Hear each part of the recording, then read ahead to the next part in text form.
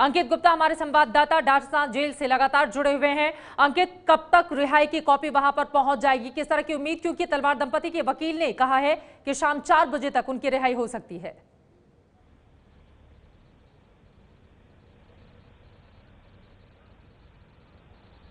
जी बिल्कुल, जो अदालती प्रक्रिया है, वो यही कहती है कि जब भी इलाहाबाद हाईकोर्ट या किसी भी हाईकोर्ट का फैसला आता है तो उसकी एक कॉपी भेजी जाती है जेल में और दूसरी कॉपी जाती है उस अदालत के, निचली अदालत के पास में जहाँ से दोषी करार दिया जाता है। तो ऐसे में निचली अदालत के पास में जब वो आदेश की प्रति पहुंचेगी तो वहाँ से एक रिलीज़ ऑर्डर जारी होता है।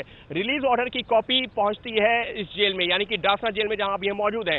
यहाँ पर जब वो कॉपी पहुंचेगी तो उसके बाद में करीबन एक घंटे के आसपास का, एक से डेढ़ घंटे का वक्त और लगेगा। और ऐसे में उम्मीद की जा रही है कि शाम को चार बजे के आसपास या चार बजे के बाद में कभी भी राजेश तलवार और नुपुर तलवार की आज हो सकती है जेल से रिहाई। जिस तरीके से अभी हमने वार्डन का भी इंटरव्यू सुना तो मैं भी आपको वही याद दिलाना चाहूँगा कि जब मैंने भी उनसे बात की थी तो उनका यही कहना था राजेश और नुपुर तलवार का, जब जेल जाने से पहले की वो घटना है, जब मैंने उनका इंटरव्यू किया था, उस दौरान उनका ये भी ये कहना था कि उनकी ये लड़ाई है अपनी बेटी को इंसाफ दिलाने के लिए। हालाँकि जब सीबीआई ने क्लोजर रिपोर्ट दाखिल की थी तो उनका ये कहना था कि ये लड़ाई यहाँ खत्म नहीं होगी।